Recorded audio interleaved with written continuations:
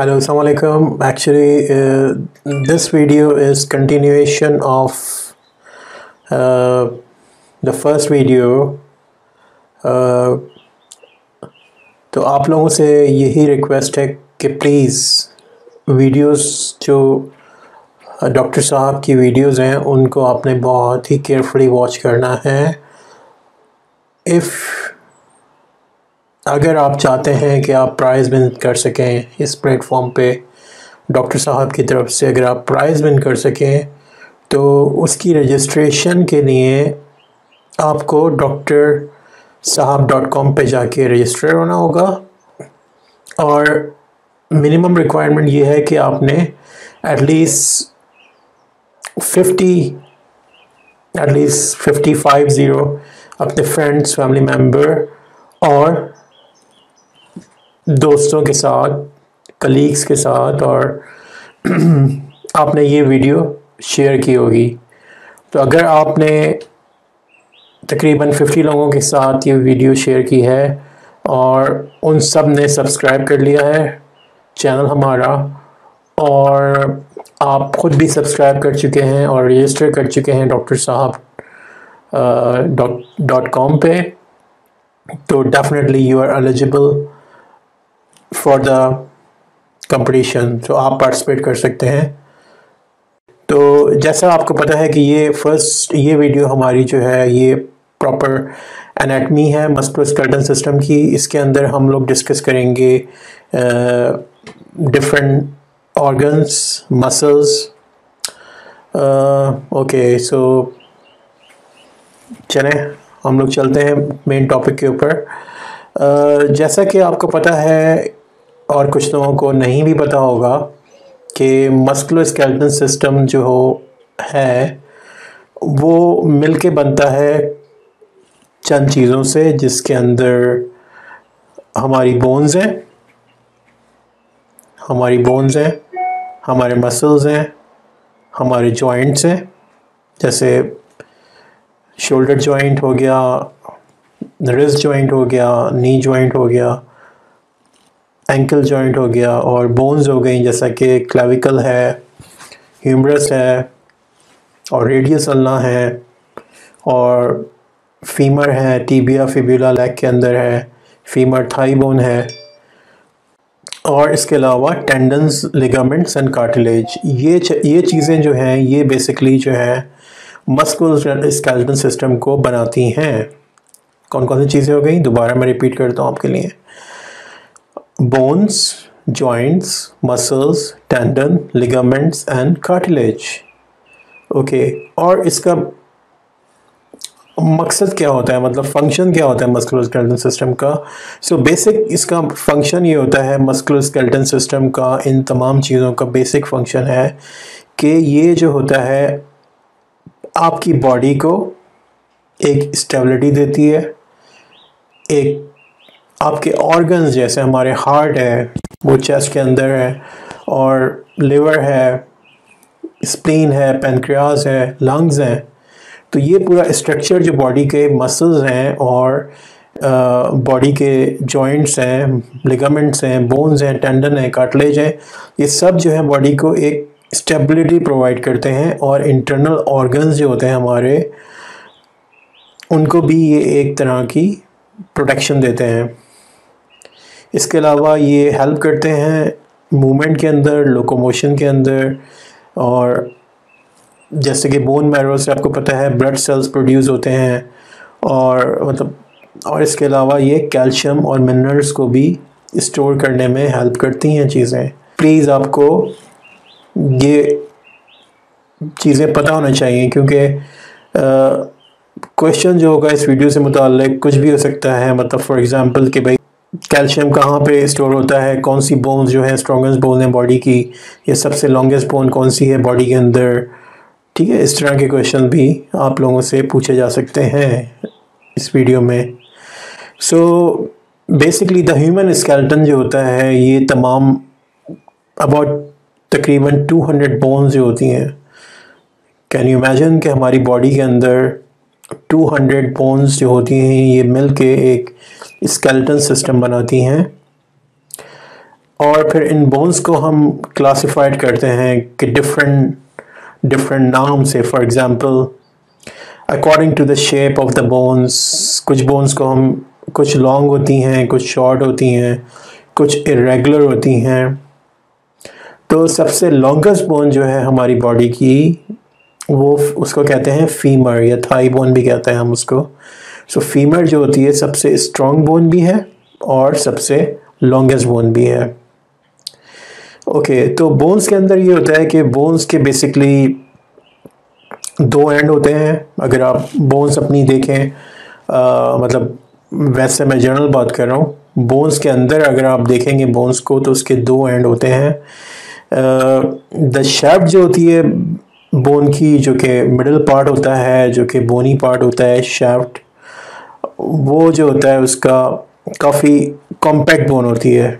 शेफ्ट जो होता है बोन्स का, वो काफ़ी एक तरह से कॉम्पैक्ट बोन होती है और उसके फिर दो एंड्स होते हैं एपीफिजस और डायफिजस एपीफिजस जो होता है, ज़्यादातर जो होता है, आपने देख स्पंजी टाइप की बोन जो होती है, वो होती है epiphysis is a type of spongy type of bone और जब, जैसा कि आप को पता है कि जब बच्चा पैदा होता है तो उसकी बोन्स की जो ग्रोथ हो रही होती है सारी बच्चे की जो बोन्स ग्रो कर रही होती हैं तो इसी तरह से तो उसकी ये जो बोन्स के ये दो एंड होते हैं, एक तो एपीफेसिस होते हैं, एक डायफेसिस होते हैं।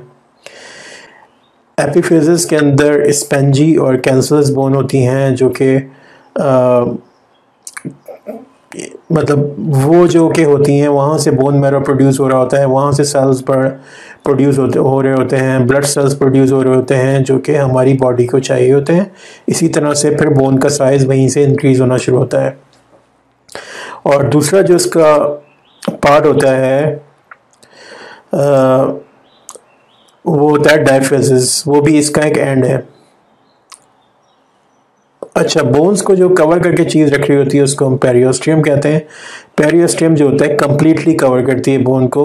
और ये जो होती है जब जैसा कि आपको पता है कि हमारे मसल्स को फ़ंक्शन करने के लिए या बोन्स को फ़ंक्शन करने के लिए बॉडी ऑर्गन्स को सिस्टम फ़ंक्शन करने के लिए ऑक्सीजन भी चाहिए होती है और ब्लड सप्लाई भी चाहिए होती है। इसी तरह बोन्स की जो ब्लड सप्लाई होती है वो इसको उसके बीच में से होती हुई जा रही होती है पेरियोस्टियम के। आ, अच्छा जो एडल्ट होते हैं जो मतलब एडल्ट लोग होते हैं, उनकी जो सेंटर ऑफ़ शेफ्ट होती है बोन्स की जो शेफ्ट होती है, उसके अंदर एक कैनाल होती है, उसको कहते हैं मेडुलरी कैनाल मेडुलरी कैनाल के अंदर क्या होता है? बोन मैरो होता है. येलो बोन मैरो होता है और रेड बोन मैरो होता है. रेड बोन मैरो जो होता है, वो यूजली मिलता है एपिफिजिस ऑफ़ द बोन के अंदर रेड बोन मैरो क्योंकि रेड बोन मैरो जो होता है, उसका फ़ंक्शन क्या होता है? वो प्रोड्यूस करता है blood cell red bone marrow के अंदर ब्लड सेल्स बन रहे होते हैं और मेंटेन करता है आ, मतलब सेल्स को प्रोडक्शन भी कर रहा होता है और उनको ख़त्म भी सेल्स हो रहे होते हैं तो वो प्रोड्यूस कर रहा होता है बेसिकली मेंटेन करता है रेड बोन मैरो इसी तरह से स्कल भी स्कल्स जो आपके हेड के ऊपर है इसकी भी एक तरह का बोनी फ्रेगमेंट है। इसके भी डिफरेंट टाइप के अंदर डिवाइड किया गया है इसको फेशियल बोन्स हो गई, ठीक है?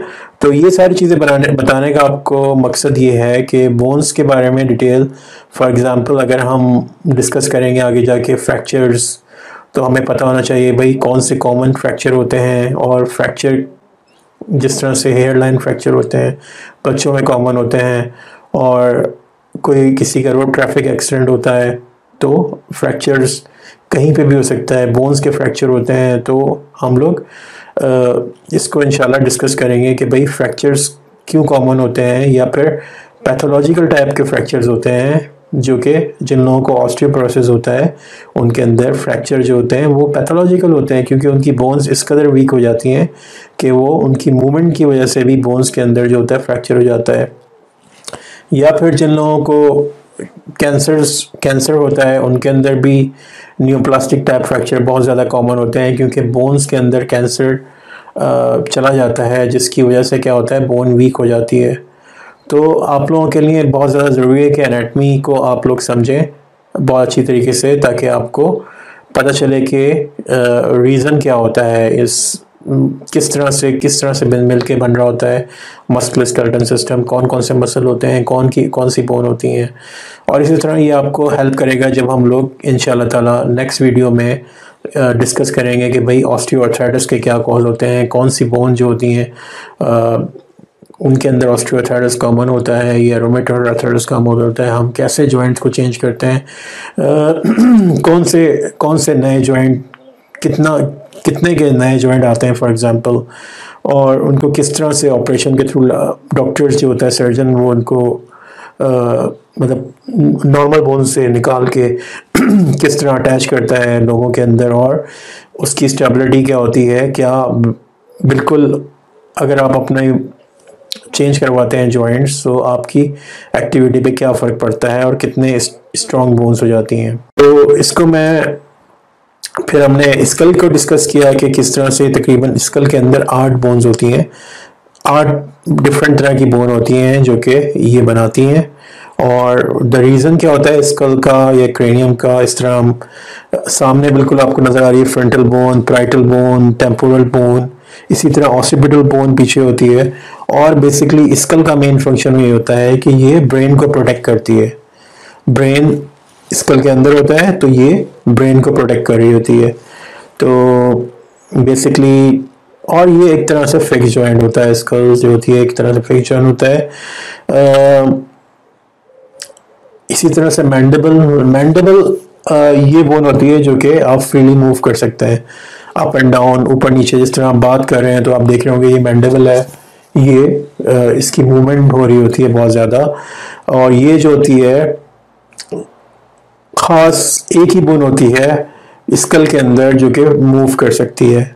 आप देखेंगे बाकी स्कल्स की बोन जो होती हैं वो मूव नहीं कर पाती क्योंकि उनकी जो कनेक्शन है वो फिक्स्ड है वो फिक्स जॉइंट है। लेकिन मैंडेबल वाहिद बोन है जो कि मूव करती है। ठीक है? तो ये बोन्स के नाम भी आप याद रखें और आ, ये भी याद रखें कि मैंडेबल्स जो होती है वाहिद बोन है। जो कि मूव कर पाती है इसमें तरह से अपर हम लोग जो होती है मैगजिला और मैंडेबल मैगजिला जो होती है, वो अपर पार्ट होता है इसका और अपर जॉ को मैगजिला भी कहते हैं हम लोग जो कि अपर टीथ करती कैरीज करती है और लोअर जॉ जो होती है हमारी, उसको हम मैंडेबल कहते हैं। ठीक है? Now we are going to move to vertebral column आपने देखा होगा कि लोगों में बहुत ज़्यादा शिकायत होती है वर्टिब्रल कॉलम के अंदर कि लोगों को पेन होता है नेक के अंदर सर्वाइकल एरिया होता है। तो हमारे आ, पहले आप लोगों को ये मालूम होना चाहिए कि टोटल नंबर ऑफ़ वर्टिब्रीज जो होते हैं थर्टी थ्री वर्टिब्रीज होते हैं। स्टार्ट होते हैं यहाँ से सर्वाइकल ये सर्विक सर्वाइकल है नेक सर्वाइकल फिर जब ये चेस्ट में पहुँचते हैं पीछे तो ये थोरेसिक करवाते हैं। थोरेसिक वर्टिब्री और फिर इसी तरह से सर्वाइकल सात होते हैं थोरेसिक वर्टिब्री जो होते हैं आ, वो ट्वेल्व थोरेसिक वर्टिब्री होते हैं इसी तरह से लंबर फाइव लंबर वर्टिब्री होते हैं और जो होते हैं सेक्ट्रल और कॉक्सिस जो होते हैं आपस में ज्वाइंट होते हैं।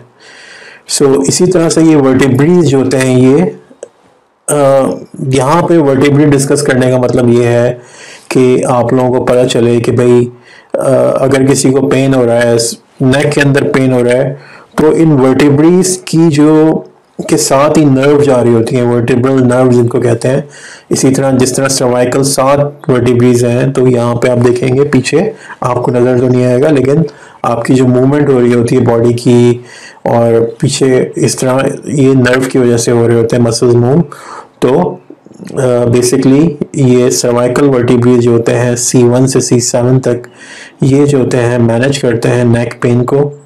नेक पेन इनकी वजह से हो रहा होता है, अगर आप किसी को नेक पेन है तो आप देखेंगे कि उसको जो होता है, उसके साथ कोई ना कोई नर्व का प्रॉब्लम होता है।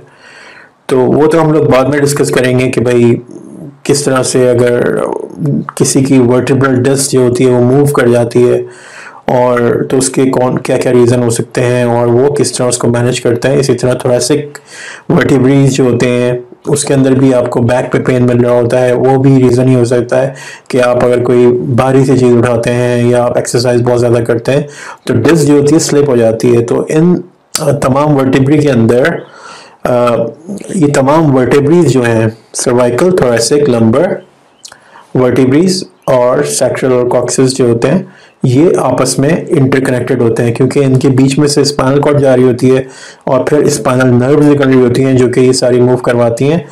और इसके साथ साथ ये वर्टिब्री जो होते हैं, ये सेपरेट होते हैं थ्रू इंटरवर्टिब्रल डिस्क इसी तरह से एक सर्वाइकल वर्टिब्री है, बीच में उसकी इंटरवर्टिब्रल डिस्क है और फिर सर्वाइकल सेकेंड वर्टिब्री है।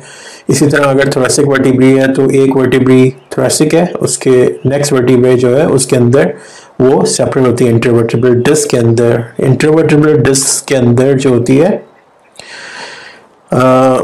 लिगामेंट्स जो होते हैं, वो उनको बेसिकली इंटरवर्टिब्रल डिस्क को जो होती हैं, उनकी मूवमेंट के ऊपर करवाते हैं। और इस तरह की अगर आप बहुत ज़्यादा तेज़ मूव करते हैं तो उसको शॉक ऑब्जर्वर की तौर पर यूज़ होता है। इसी तरह क्लाविकल या कॉलर बोन जो होती है, वो स्टर्नम से मिल रही होती है। ये क्लाविकल है, ये यहाँ पे आके स्टर्नम से जो कि होती है, ये आर्टिकुलेट कर रही होती है। और फ्रंट पे और बिहाइंड पे ये स्केपला जिसे शोल्डर बोन भी कहते हैं, वहाँ पर अटैच होती है। स्केपला भी large flat and triangular bone है। जिस तरह फीमर आपको पता चला कि लॉन्गेस्ट बोन है बॉडी की, इसी तरह स्केपला जो होती है ट्रायंगुलर शेप बोन होती है, यहाँ पे पीछे और इसको शोल्डर ब्लेड भी कहते हैं हम लोग।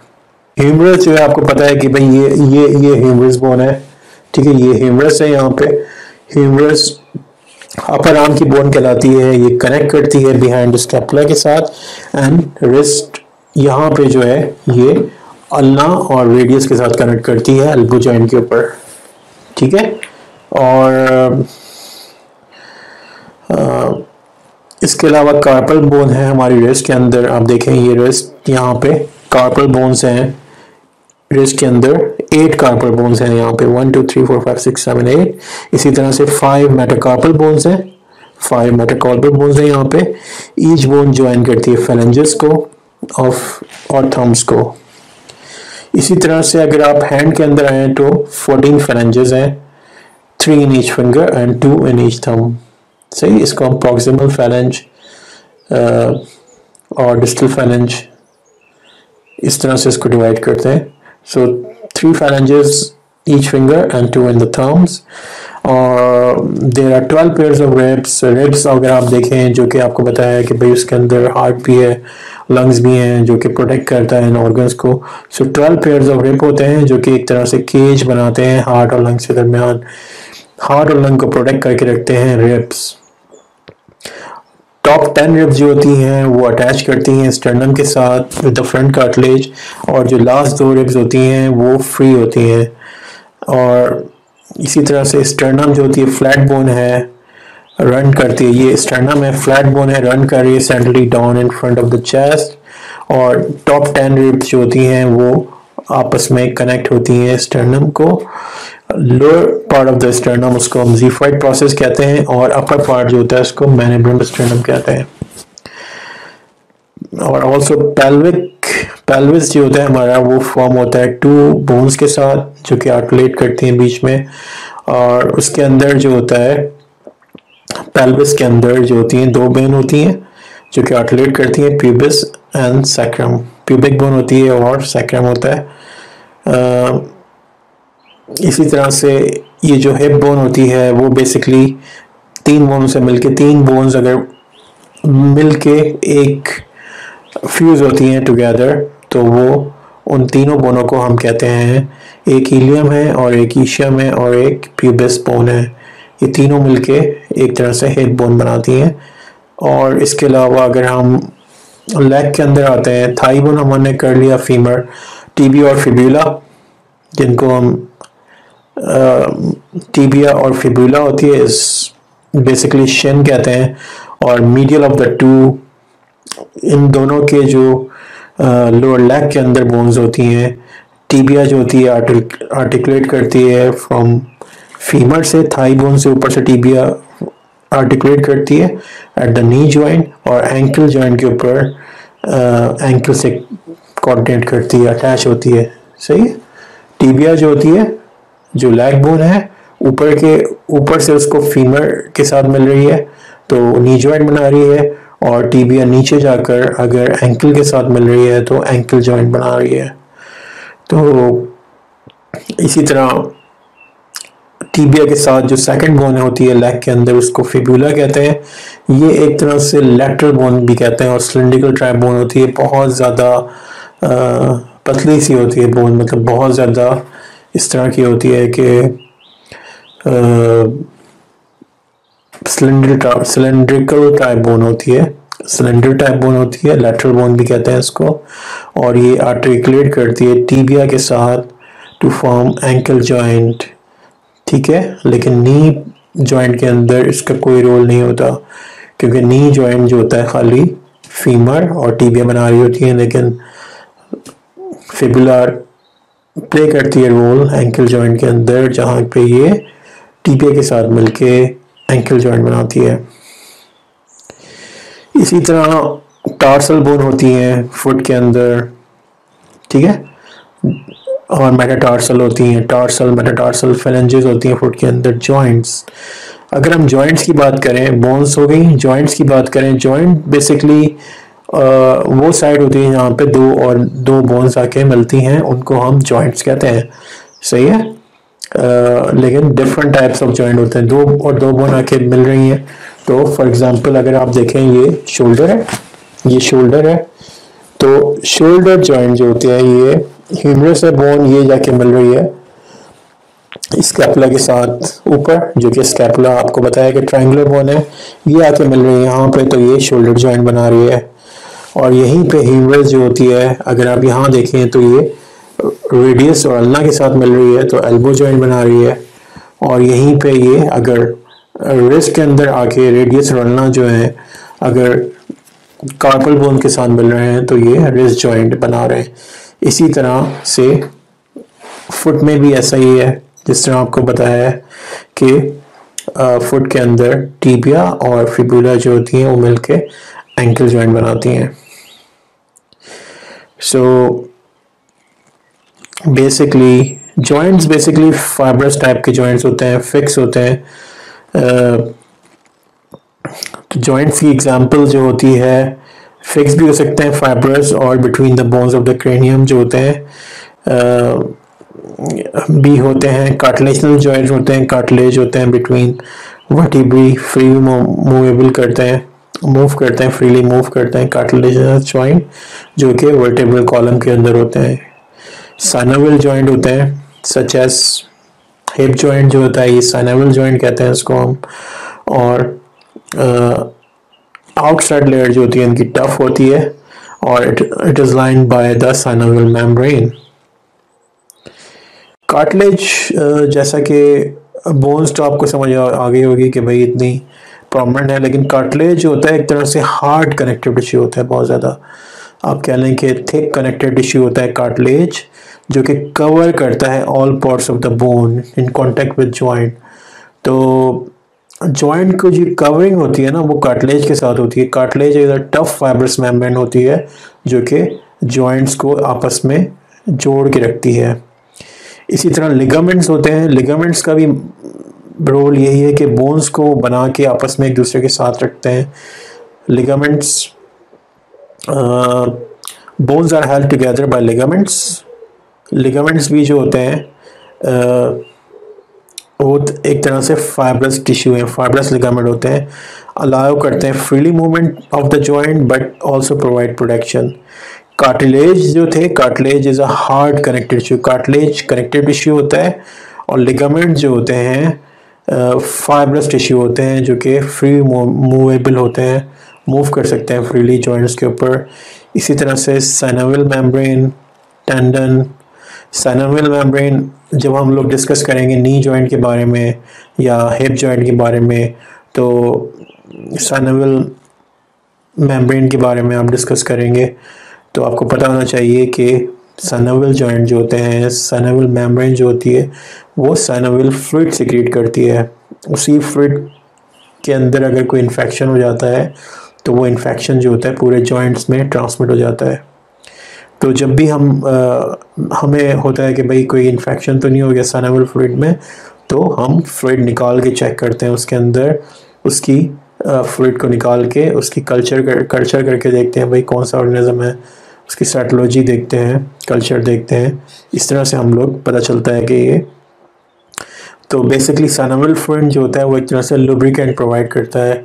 उसकी मूवमेंट में हेल्प करता है जॉइंट्स की और जॉइंट्स को जो होता है प्रोटेक्ट करके भी रखता है साथ साथ इसी तरह, जिस तरह आपको पता चला कि भाई लिगामेंट जो होते हैं, वो जॉइंट्स जॉइंट्स को जो होते हैं, एक तरह से मिला के रखते हैं। और ये जो है फाइबरस टिश्यू होते हैं टफ फाइबरस टिश्यू होते हैं।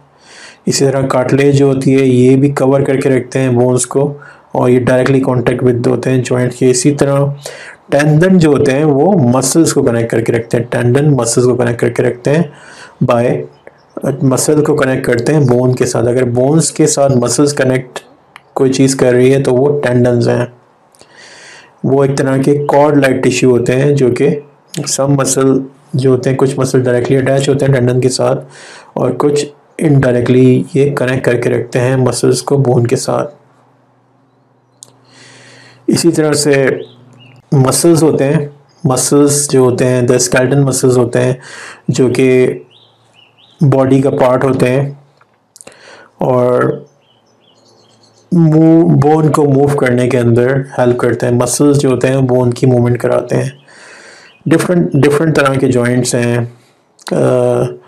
इस, जिस तरह से ball and socket joint ball and socket joint इस तरह के होते हैं कि अलाउ करते हैं मूवमेंट इन ऑल डायरेक्शन मतलब आप तमाम मूवमेंट जो होती हैं वो कर लेते हैं ball and socket joint flexion extension abduction abduction hip joint जो होता है बॉल एंड सॉकेट जॉइंट क्योंकि बॉल का मतलब फीमर का अगर आप हेड देखें तो वो बॉल की तरह का है, जो कि अटैच होता है हिप जॉइंट के साथ। हिप जॉइंट का जो सेंटर पार्ट होता है, वो एक तरह का सॉकेट है।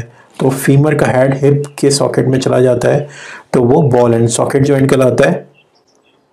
इसी तरह से शोल्डर जॉइंट जो होता है, वो जब अटैच होता है स्केपला के साथ, जो कि तो वो, ये भी एक तरह का बॉल एंड सॉकेट जॉइंट कहलाता है। क्योंकि ह्यूमरस जो होती है, उसका हेड भी बॉल की तरह का होता है और स्केपला का जो पार्ट है जहाँ पे जाके अटैच करता है स्केपला पे वो सॉकेट की तरह का होता है स्केपला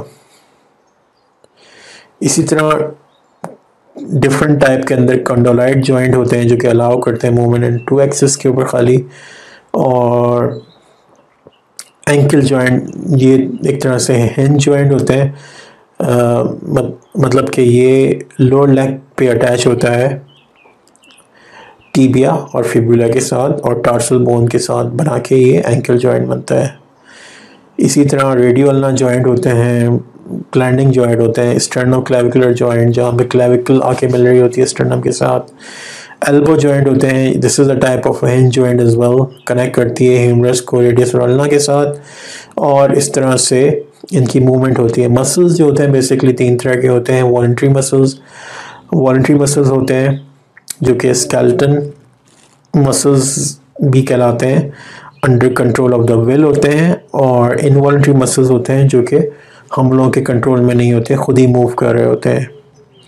इस तरह के मसल्स जो होते हैं इनवॉल्ट्री मसल्स जो होते हैं, ये फाउंड होते हैं आपके एलिमेंट्री कैनाल के अंदर। मतलब जहाँ पे स्टमक आपका होता है उन मसल्स को आप, आपके कंट्रोल में नहीं है। जब भी इनको इनवॉल्ट्री कहते हैं, जब आप फ़ूड खाते हैं, जब फ़ूड वहाँ पे पहुँचता है तो उनकी मूवमेंट स्टार्ट होती है और वो मूव करना शुरू करते हैं तो लेकिन हमारे कंट्रोल में नहीं होते।